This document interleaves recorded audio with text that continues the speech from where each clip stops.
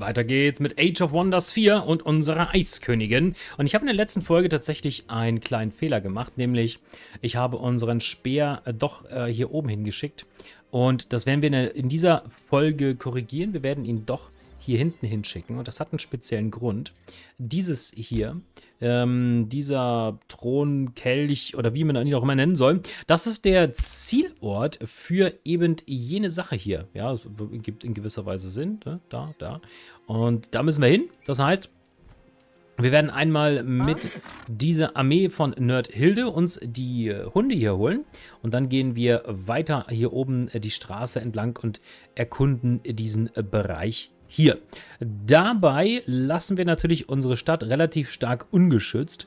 Und das ist leider so. Wir haben hier eine kleine Armee drin und hoffen einfach mal, dass das gut geht. Denn wir brauchen die Punkte, um Schnittfort anzuschließen. Damit das dort ein bisschen schneller geht. Damit wir dort einfach diese Stadt anschließen. Denn wir liegen im globalen Vergleich als Fünfter von fünf nicht allzu weit vorne und da müssen wir definitiv etwas machen. Wir sind, was Magier und Wirtschaftsrang angeht, nicht so schlecht mit dabei. Militärrang sieht nicht so gut aus, deswegen da werden wir weiter dran arbeiten. Und die nächste Stadt ist für mich halt Schnittfurt und idealerweise, wenn das hier beseitigt ist, bauen wir da oben noch eine Stadt. Das sieht hier mit diesen ganzen Goldvorkommen und so, das sieht eigentlich ganz gut aus. Wald gibt es ja auch ein bisschen, ist auch ein bisschen weiter weg. Alternativ können wir gucken, ob wir Hochhall, Hochhall uns hier holen ähm, als zusätzlichen Freund. Das wäre auch nochmal eine Möglichkeit, aber das sehen wir dann alles in Zukunft. Ja, das wäre auch eine gute Sache, dann können wir uns mit Nerdistan hier oben hin ausbreiten und dann in diesem Bereich, wenn wir uns dann noch diese Stadt einverleiben in Zukunft, das denke ich mal, ist auch eine Möglichkeit, dann wären wir bei drei von dreien. So, aber das wollen wir heute nicht machen. Wir gehen weiter und werden uns jetzt einmal dieser Hunde hier annehmen. Jetzt müssen wir erstmal dort gucken, das haben wir gesehen. Und hier möchte ich jetzt tatsächlich einmal den automatischen Kampf mir angucken und einfach mal sehen, wie das äh, hier funktioniert mit unseren Truppen. Ich denke, wir sind ihm durchaus überlegen, aber nur, wenn wir der KI erlauben, eben die Zauber zu wirken. Denn ähm, durch die Zauber haben wir den großen Vorteil, dass wir eben hier die Inferno-Hunde mit unseren Eiszaubern relativ gut angreifen können. Und jetzt werden wir mal hier oben auf das Mana achten. 3,75. Und jetzt bin ich mal gespannt, ob die KI diese Sachen wirkt. Boah! Mensch! Der hätte fast die gute Nerdhilde umgebracht. Du Schlawiner, du, das gibt es doch nicht. Aber sie lebt noch. Ja, sie lebt noch. Okay. Er hat aber tatsächlich kein... Doch, er hat einen Zauber gewirkt. Alles klar. Er hat einmal einen Zauber gewirkt. Sehr gut. Jetzt sollten wir der Nerdhilde eine kleine Pause auf ihrem Ross gönnen. Und das kann sie machen, indem sie einmal in diese Richtung dort oben hinreitet. Sie hat eine böse Präsenz. Ein Drachennest ist ein Anblick der Schrecken, der Ehrfurcht und viele ähnliche, äh, die viele ähnliche Gefühle hervorruft, die man in Gegenwart von etwas Abgründigen und Ursprünglichen haben kann. Ja, ähm, egal ob es sich bei dem Bewohner des Nestes um einen uralten Drachen aus dem Zeit der Riesen oder jüngere Wiefern handelt. Aber darüber gesprochen, kümmern wir uns drum. Das Problem ist natürlich, dass die hier in ein paar Runden, in 0 bis 3 Runden, eine ähm, Stärkung erfahren werden. Das heißt, bis dahin müssen wir in irgendeiner Art und Weise hier unten kampfbereit sein. Gucken wir mal. So. Tag 17 bricht an. Wir haben eine Nachricht erhalten. Oh, 85. Ähm, Vaneri hat eine persönliche Präferenz für dein Vorgehen. Reiche mit einem einzigen Volk. Ähm, dies verbessert eure Beziehung um 150. Nice. Dann sollten wir mal, meine Liebe, gucken, ob wir die offenen Grenzen machen. 150 Gold willst du dafür haben? Okay, das muss ich mir dann nochmal überlegen. Aber das fände ich tatsächlich eine ganz gute Sache. So, Befehle. Ja, ihr geht da oben hin. Wir gehen aber mal über den Weg, bitte. Einmal dahin. Ah, da haben wir jetzt nicht die Zeit für. Ähm, ich will mir den da oben holen. Das ignorieren wir mal. Wir, wir holen uns das da. Das macht, glaube ich... Ja, das weiß ich doch. Das macht mal, glaube ich, mehr Sinn. Und du könntest dir trotz alledem nochmal den hier holen. Ja, das hat jetzt eher weniger gebracht. Ein Seidenversteck. Nee, wir gehen weiter. So, da unten bitte. Einmal durch den Wald. Da können, sind wir mal ein bisschen vorsichtiger. Kontakt mit den feindseligen Insaltur. Baronin Ein bis Ödnacht aus der freien Stadt der Insaltur empfängt dich mit Feindseligkeit. Wir unsterbliche Tyrannen aus äh, Insal werden für unsere Freiheit kämpfen und allen die Stirn bieten, die unsere Freistadt bedrohen. Selbst wenn sie eine Königin, die so wunderschön seid, wie ihr es seid, anführt. Tja, Wir können uns die Stadt ja mal angucken. Ach, du grüne Neune. Ja, sind wir echt im Krieg? Warum? Habt ihr doch nichts, habt ihr doch nichts getan, ey. Oh Gott, ey, Leute, Leute, Leute, Leute, schickt ihr das Arbeitsamt. Na gut. Das ist natürlich jetzt extrem uncool. Dann habe ich mir spontan dazu entschlossen, dass wir doch oben rumgehen werden. Oh Mann, ey. Das ist natürlich jetzt extrem unschön. Da müssen wir jetzt echt, da müssen wir jetzt auch 192 bezahlen. Hm. So viel zu dem Thema, wir verdienen genug Geld, ne? Mist. So, ihr bleibt da stehen. Das wird unsere erstmal Verteidigungsarmee. Tja, und jetzt bin ich ernsthaft überlegen, ob wir uns hiervon noch einholen. Wenn wir schon dabei sind. Auf der anderen Seite müssten wir echt jetzt gucken, dass wir den Markt beschleunigen. Das macht keinen Sinn. Wir warten erstmal, bis der Markt fertig ist. In zwei Runden sehen wir weiter. Und in vier Runden können wir die Bevölkerung vergrößern. Und ich bin am überlegen, ob wir das jetzt schon machen. Die Frage ist nur, wenn wir das jetzt machen, ist die Frage, was es uns bringt.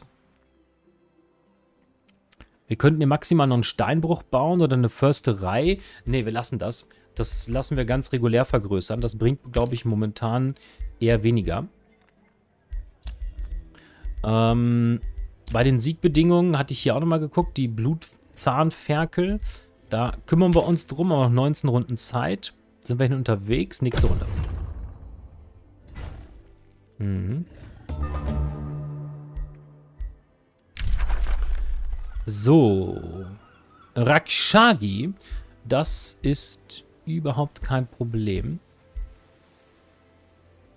Du hältst in jeder Runde, in der ein Herrscher, mit dem du nicht im Krieg befindest und dein Gebiet betritt, fünf äh, Punkte.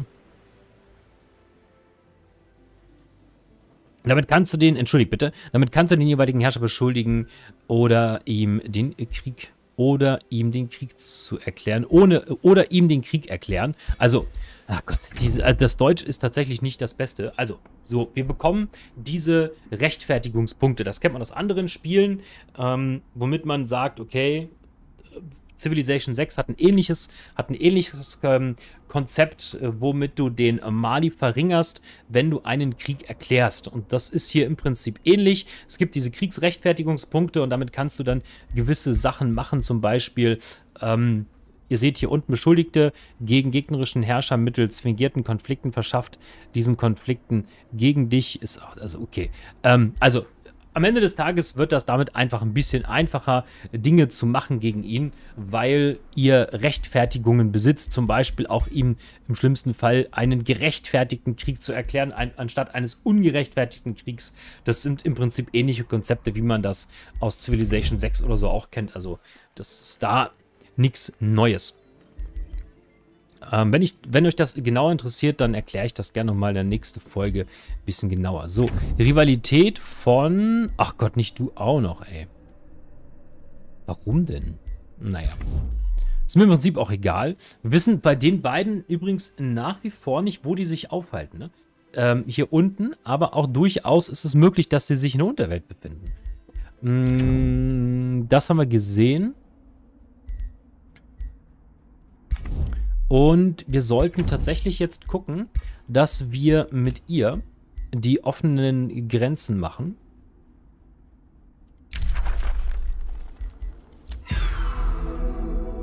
Das würde ich nämlich jetzt gerne machen, dass wir hier einfach einen guten Partner bekommen. Und als nächstes würde ich gerne gucken, dass wir so in Richtung, ähm, weiß nicht, Provinzanspruchpakt könnte man durchaus machen. Aber wir können auch ähm, uns langsam in Richtung Verteidigungspakt bewegen. Mhm, das ist das, was ich gerne machen würde. Dazu brauchen wir natürlich noch bessere Reichsbeziehungen, aber da arbeiten wir dran. Also das nächste, was ich machen möchte, ist hier ein Verteidigungspakt. Ich denke, damit sind wir einfach dann besser abgesichert. So, das ist das Thema. Und solange er hier unten auch still ist, brauchen wir, denke ich mal, dort auch keine großen Armeen hinschicken. Deswegen nehmen wir jetzt erstmal ihn.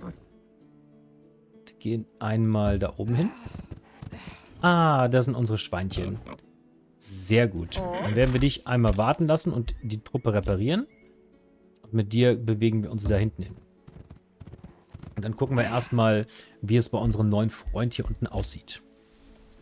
So, du gehst da oben rum. Können wir mal gucken, was es hier alles gibt in Insal.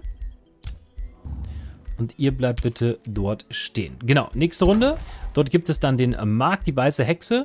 Das bedeutet ein bisschen mehr Geld. Mana müssen wir uns dann nochmal anschauen. Nächste Runde. So, er ist immer noch bei uns. Er kann uns übrigens auch angreifen, ähm, ohne Krieg. Äh, kann, muss nicht. So, minus... Warum denn? Positiver Erstkontakt. Reiche mit Vasallen. Rivalitätserklärungen. Passive Modifikation. Gerade getroffen klingt ab. Beleidigung ausgesprochen. Bedrohungsstufe bedroht. Minus 400. Warum?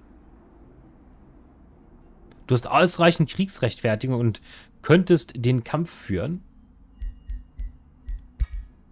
Ähm, wir könnten versuchen, den Konflikt beizulegen. Überprüfe die und verwalte Konflikte. Du kannst dich von Konflikten, die der Gegner hat, freikaufen. Ähm,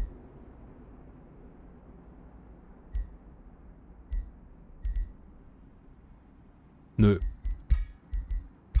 Nö, nö, muss ich nicht haben. Nö, nö, alles gut. So, jemand ist in ein Gebiet eingedrungen. Wie stark ist denn die Armee? 400. Ah, wir können damit noch gegen nicht anstinken. Das geht im Moment nicht. Wir müssen erstmal zusehen, dass wir hier diese Schweinchen da äh, killen. Deswegen müsst ihr da bitte noch eine Runde ausharren. So, die weiße Hexe wurde produziert. Das ist super. Wir haben einen Markt gebaut. Das erhöht die Einnahmen wiederum ein bisschen. Und wir haben eine Produktion festzulegen. Das machen wir auch. So. Jetzt sind wir hier noch nicht sehr viel weiter. Ich wollte ja gerne die Armee mit Rittern auffüllen. Deswegen schauen wir mal hier ein Bannerträger. Ne, wir wollen die Armee mit Rittern auffüllen.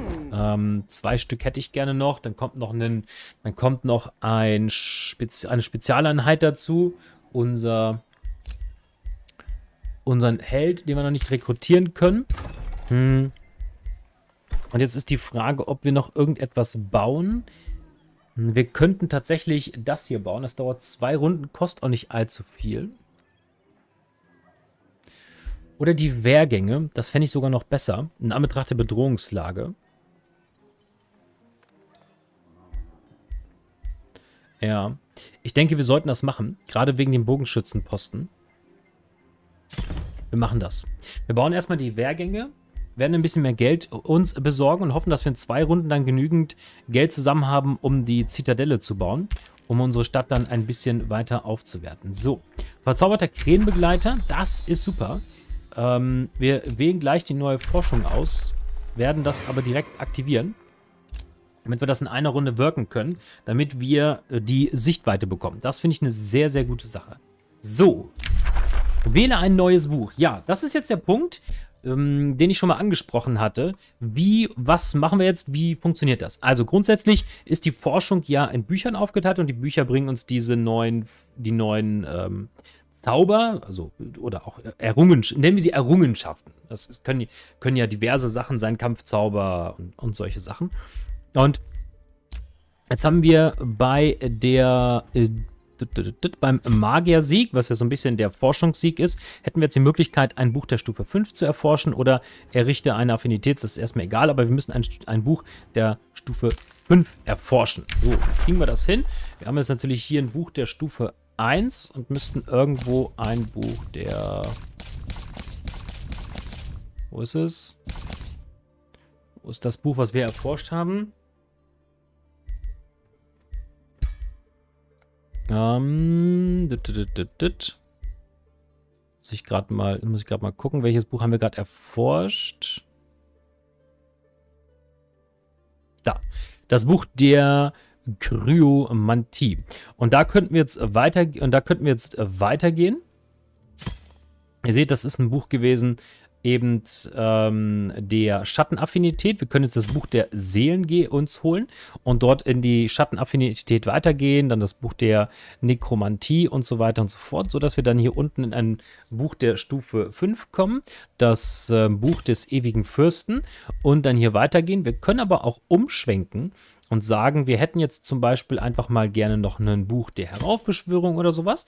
Das wäre möglich, würde aber natürlich so ein bisschen, ich möchte gar nicht sagen, entgegen des Wissenschaftssieges gehen, weil wir natürlich das dadurch verlangsamen, was wir machen und nicht ähm, straightforward im Prinzip diesem diesen, diesen, diese, diese Buchreihe hier unten durchgehen, ja. Das heißt, wir könnten jetzt das im Prinzip einmal durchtaggen und uns das alles holen. Ich bin mir nicht sicher, ob die Schattenaffinität hier bei uns ähm, wirklich die, die richtige ist. Also diese Kry Kryomantie hat uns durchaus was gebracht, weil ähm, Kryotechnologie und so ein paar Sachen sind natürlich für die Eiskönigin gut.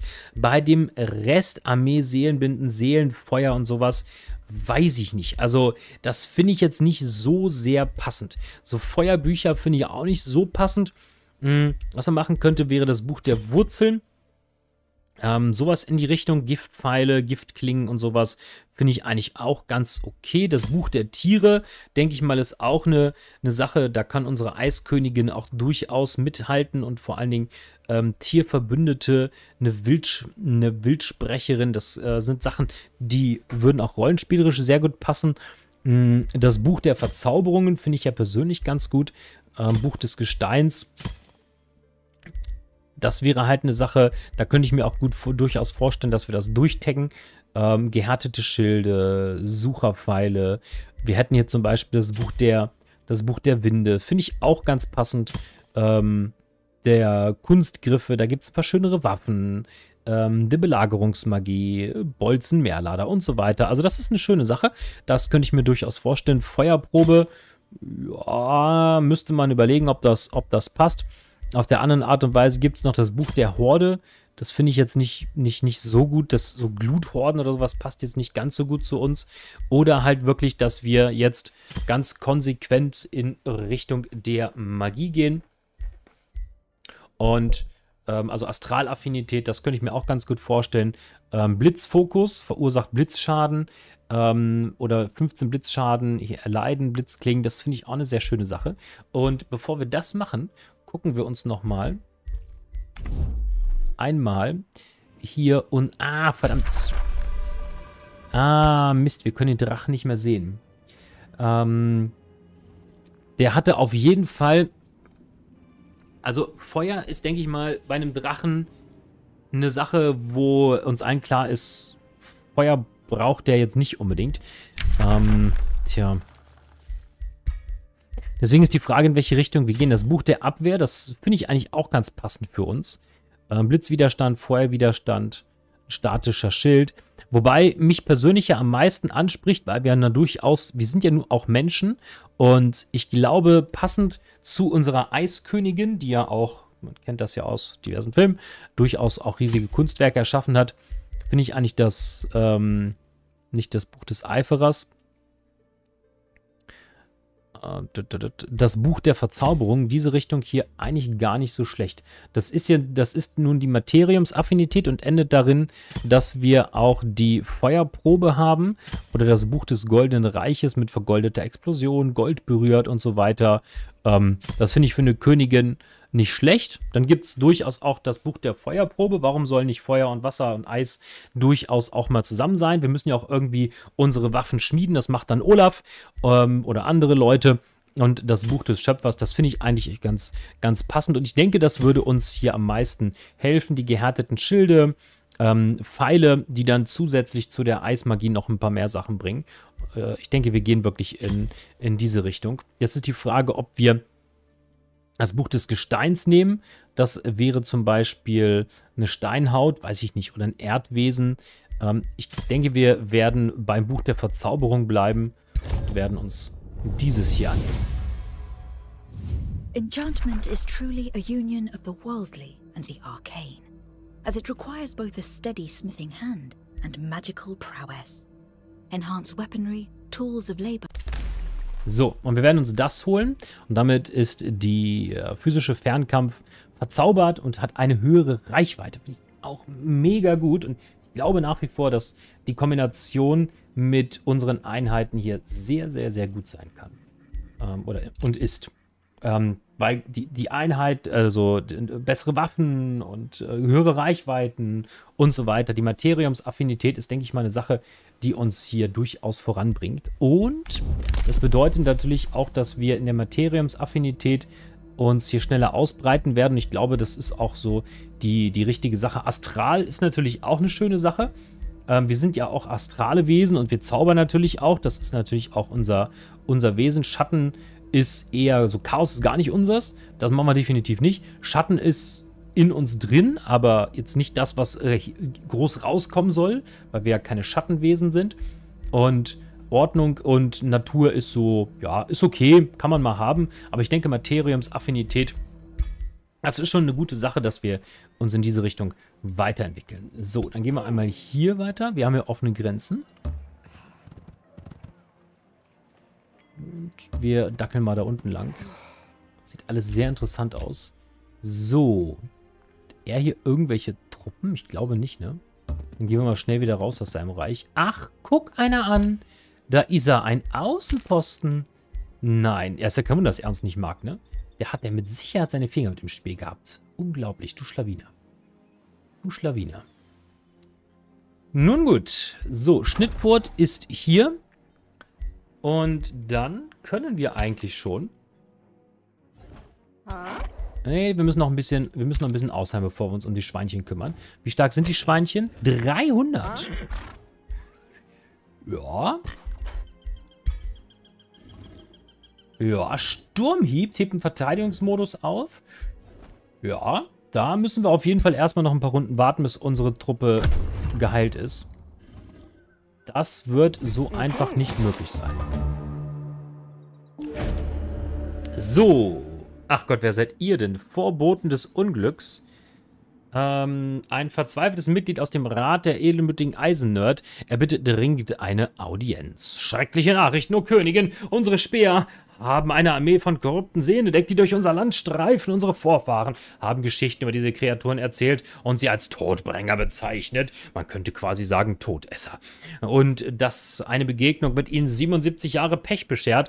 Ähm, nicht 78 Jahre, dann sind wir nämlich tot und äh, müssen, wir müssen so, sie sofort verjagen. Tja. Das ist jetzt in der Tat ein Problem. 30 Runden könnten wir schaffen.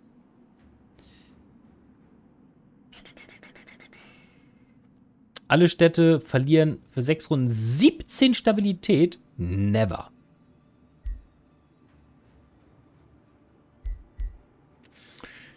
Tja, wir könnten das machen. Wir bekommen den Bonus auf Stabilität. Ähm, ich denke, wir sollten das tun, damit wir auch den Kampf Äh, sie hat eine beanspruchte... Oh nein, jetzt hat die da auch noch einen Außenposten gegründet. Ach du Numenus, ey. Was soll denn das? Hm.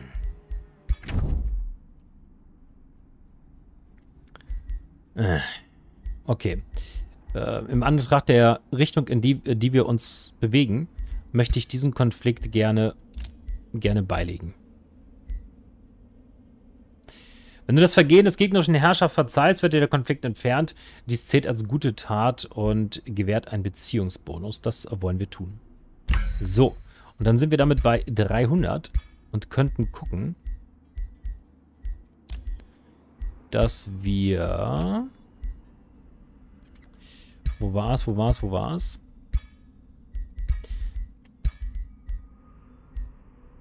Hm, einfach da oben, Verteidigungspakt. Das geht am... Ähm, es ist zu früh. In zwei Runden können wir es erneut versuchen. Das sollten wir auch machen. Und dann können wir noch einmal schauen. Kontaktinformationen von ihm. Nee, ich, ich würde gerne wissen, wo er ist. Ob sie das weiß?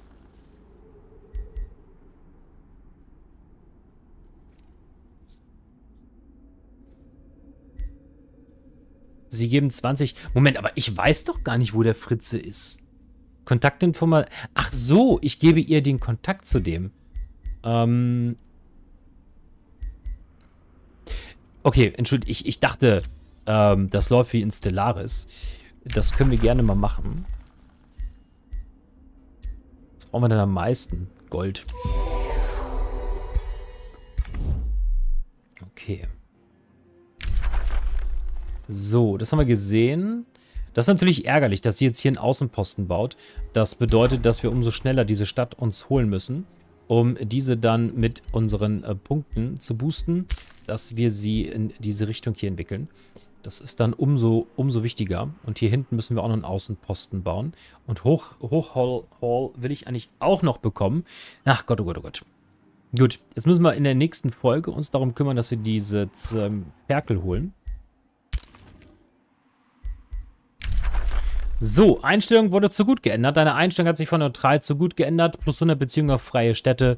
Sehr, sehr gut. Zufällige Ereignisse haben eine 10% höhere Chance, positiv zu sein. Das ist eine sehr schöne Sache. Und das bringt uns hier nichts. Bringt uns das hier unten irgendwas? Ähm, leider auch nicht. So. Ein Zauber ist bereit. Ein verzauberter Krähenbegleiter. Ja, bitte.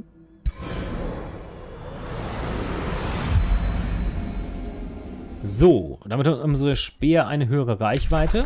Und wir können Frostpfeile oder Schneestürme machen. Das lassen wir nochmal sein. Und wir können, die Reichsentwicklung ist verfügbar. Das finde ich eine gute Sache.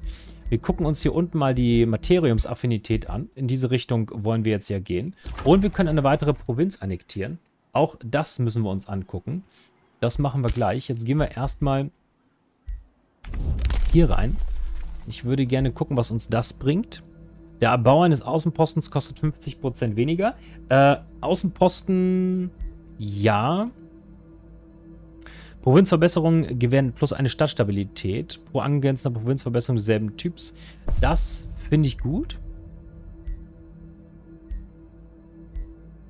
Der ist noch nicht fertig. Der auch erst in der nächsten Runde. In der nächsten Runde erhält er ein Flüsterstein. Oh. Den holen wir uns in der nächsten Folge, in der nächsten Runde. Ähm, immer wenn eine Forschungsfertigkeit erforscht wird, werden die Wissenskosten einer zufälligen Fertigkeit um 25% verringert. Das finde ich auch gut, das können wir uns auch holen. Die Einheitenversorgung von Einheiten magischen Ursprungs wird um 20% reduziert. Die drei finde ich gut. Das sollten wir alles machen. Dann, wir brauchen bei Einheitenversorgung gerade minus 20. Das wird uns eine ganze Menge bringen. Das ist super. So, du gehst weiter in die Richtung. Ich frage mich echt, warum die hier hinten nichts macht, ey. Sehr schade. So, einmal da lang. Eine Vatereiche. Nicht schlecht. So, Befehle erforderlich. Wunderbar. Die nächste Armee ist im Bau. Du wartest dort bitte ab. Und dann geht es auch schon in die nächste Runde. So, er versucht sich da unten. Hö, das ist gut. Mach du mal. Dann müssen wir das nicht machen da unten. So, ach verdammt, wir haben in Nerdistan vergessen, uns zu erweitern. Das müssen wir jetzt definitiv als allererstes machen. Und die Gebäude hier auch bauen. Jetzt ist die Frage, ob wir... Tja, jetzt in die Richtung entwickeln. Das ist mir hier oben nach wie vor zu unsicher. Ähm, Wir sollten tatsächlich noch eine Farm bauen. Na, auch hier unten. Was bringt uns das? Plus 5. Ich denke, hier hätten wir zumindest noch die Möglichkeit auf einen Steinbruch. Wir werden uns mal eine Fischereiprovinz holen, damit wir ein bisschen schneller die nächsten Bevölkerungen boosten. Und dann sind wir bei 400 und damit wollen wir jetzt die Zitadelle bauen. So, das ist das Thema. Hier wurde ein Kompliment ausgesprochen. Ah, gut, eine diplomatische Lösung wird den Sieg sichern. Ich hoffe, dass wir beide von euren Beziehungen zu Schnittfort profitieren werden. Das hoffe ich auch, meine Beste. In der nächsten Runde werde ich dich nämlich nach einem Verteidigungspakt fragen. Und ich hoffe, dass du diesen annehmen wirst. So, eine freie Stadt? Ja. So tun wir das. Wir werden das integrieren. Oh, das kostet uns die gesamte... Ja, wir machen das. Ah, edelmütige Eisennerds von Schnittwirt müssen dich als ihren König akzeptieren. Eine neue Ära unter deiner Führung. Wir werden uns Schnittfort angucken. Schnittfort, nein, wir werden natürlich Schnittfort inspizieren. Die Jagd auf das Feuergeborene ist fehlgeschlagen. Ähm, Auftrag kompromittiert. Okay, gut. Ja, doof. Ähm, ist jetzt, ist jetzt aber wurscht. Dann können wir uns zumindest um diese Sachen hier hinten noch kümmern. Ähm, ich hätte jetzt erwartet, dass das noch ein paar Runden dauert, aber okay, gut. Dann können wir auf jeden Fall einmal das erweitern. Und wir könnten jetzt natürlich gucken, dass wir uns hier Richtung des Außenpostens bewegen. Und dort... Blub,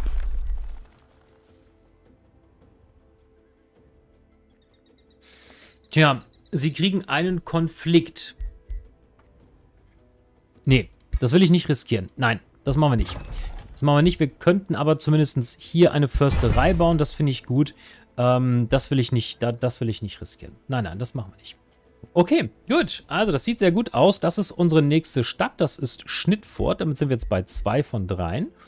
Und wir müssen hier natürlich auch gucken, dass wir ein bisschen was bauen. Ein Verkäufer, das bringt uns Einnahmen. Das macht Sinn. Gold ist nicht zu unterschätzen in diesem Spiel. So, Freistadt kann integriert werden. Das haben wir gesehen. Und damit ist euer Flüsterstein frei. Den geben wir hier hin. Und das bringt uns übrigens zu der Situation, dass wir diese Sachen nicht mehr machen können. Was aber nicht so schlimm ist, weil wir diesen Flüsterstein gerade nicht mehr brauchen. Ähm, vielleicht in der nächsten Runde. Das ist aber gerade egal. So. Das können wir momentan... Das, was haben wir da? Jede Stadt in deinem Reich verliert minus eine Bevölkerung, ruft aber sofort drei ein... Uh. Und erhalte einen Flüsterstein. Farmen gewähren plus fünf Nahrung. Das sollten wir uns dann wahrscheinlich in der nächsten Runde holen. Das ist, denke ich mal, auch ganz praktisch. So, Regenbogenklee erhalten. Klar, der gehört jetzt halt uns, richtig? Und eine neue Reichsentwicklung ist verfügbar. Das haben wir uns angeguckt. Wir wollen auf jeden Fall als nächstes das hier haben. Damit äh, unsere Städte noch schneller wachsen. Sehr schön. Gut, dann haben wir damit ähm, Nerdistan und Schnittfurt. Und ich will eigentlich nach wie vor den Drachenbau hier weghaben. Denn ich finde diese Ecke hier oben als weiteren Außenposten sehr, sehr schön. Und auch Hochhall finde ich eine wunderbare Ecke. Und vor allen Dingen auch die Stadt finde ich eine super Sache. Das können wir auch noch integrieren. Hm, wir können eigentlich auch hier die Gefolgschaft stärken. Das machen wir auch. Und das wäre dann für mich in Zukunft Stadt Nummer 3. Wir sind ja eine gute Königin. Und warum soll man diese Städte nicht in unser eigenes Reich integrieren. Jetzt bin ich mal gespannt, auf welchem Punkt wir sind. Immer noch auf Platz 5. Ach, schade.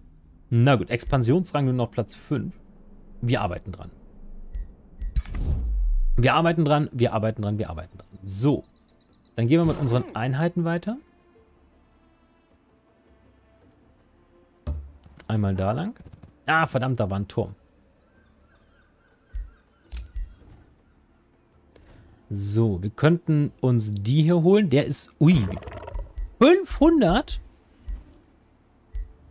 Okay, vielleicht gehen wir mit den Truppen einfach mal nach Hause, stellen uns in den klaren Wald, trinken ein Süppchen und heilen uns erstmal. Hier möchte ich einmal da lang gehen. Gucken hier unten mal, was sich da ergibt. Und ihr werdet weiter ausheilen. Ja, eine sehr, sehr interessante äh, Entwicklung, was das Ganze hier nimmt. Schnittfurt ist jetzt ein Nerd. Und ich frage mich immer noch, wie die sich ähm, die Hex Hexenbrügge so stark ausbreiten können. Ähm, und warum die bei der Expansion so weit voraus sind. Denn so klein finde ich uns jetzt gar nicht von der Größe her. Aber das sind alles Themen, die gucken wir uns in der nächsten Folge an. Macht's gut, bis dahin, euer Strategie-Nerd. Ciao, ciao.